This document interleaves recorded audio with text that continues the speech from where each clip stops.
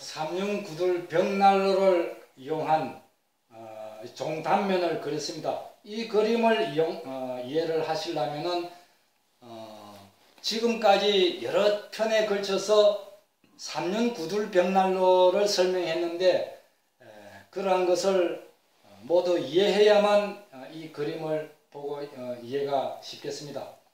우선 설명을 해보면은 어, 여기에 아궁 구멍이 있습니다. 이 부분이 일반적인 그 난로, 벽난로, 노출 벽난로 식인데 이것을 전부 다 매립을 하지 않고 한 10cm 상판만 주방으로 노출되게 하고 나머지는 전부 다 아궁 구조로서 이렇게 역할이 되도록 밑에 묻은 것입니다.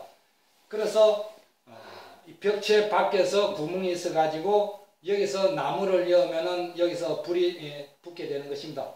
여기 불을 어, 붙게 될때 아, 어, 열기와 연기가 발생하는데 그 열기는 그 어, 어, 벽난로의 상판이 철판이기 때문에 이 철판을 어, 뜨겁게 해서 공기 주방의 그 어, 실내 공기를 빨리 복사로서 이 난방을 담당하는 것입니다. 그리고 이 열기가 어, 그 주방 바닥에 구들장이 난 그 구들방으로 직화식으로 이 일반 구들방과 같은 형식으로 불이 들어가는 것입니다. 그래서 열기가 붙는 구들장 밑에 붙는 그 주, 주방 바닥을 구들방과 같은 그 난방을 담당하고 여기서 발생되는 연기는 어, 실, 실외 굴뚝을 해가지고 미나하게 빠지게 하는 것입니다.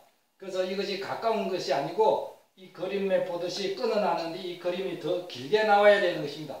그래서 연기는 어, 이쪽으로 빠지고 어, 이 높이에 따라 어, 불이 더 잘 들어가는 그런 형인데 이것은 높이가 방바닥과 아궁 바닥의 높이가 얼마 안 나오기 때문에 어, 이 아궁 밖으로 연기가 내치게 되는 것입니다. 그렇게 내치게 되는 것은 그 실내 그 저 불이 타면서 연기가 발생한 것이 다시 대동년도 어, 고래 형식으로 내려와 가지고 어, 실내 굴뚝으로 이렇게 실내 연통으로 빠지게 되는 것입니다.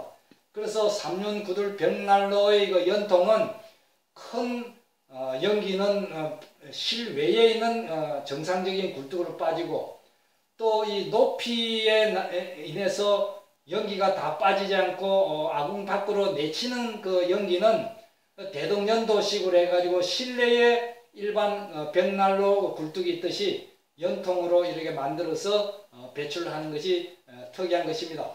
그러면은 이, 이 벽난로 속에 화열이 구들방을 데울 때 이 고래 속에는 냉습이 많이 있는 것입니다.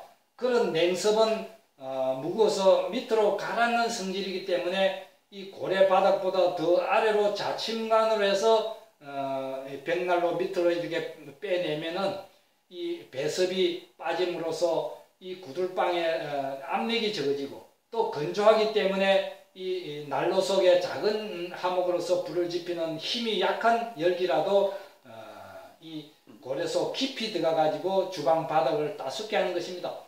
그리고 어, 또 여기 한 가지 더 특이한 점은 이, 이 구들 벽난로 측면에는 물을 어, 공간이 있어 가지고 어, 열 교환이 이루어지는 것입니다. 그래서 온수 난방과 어, 냉수 난방이 어, 냉수가 이렇게 회전될 수 있는 햇달을 달아 가지고 끓는 물은 위로 가게 하고 찬물은 밑으로 내려오게 해 가지고 자연 온수 순환 장치를 어, 달아 가지고 주방에 미치지 없는 미치지 않는 그 한쪽 어, 모서리라든지 그런 것을 엑셀 파이프를 연결해서 난방을 할 수 있는 종합적인 그런 어, 난방 어, 방법이 3륜 어, 구들벽난로다 이렇게 설명할 수 있습니다.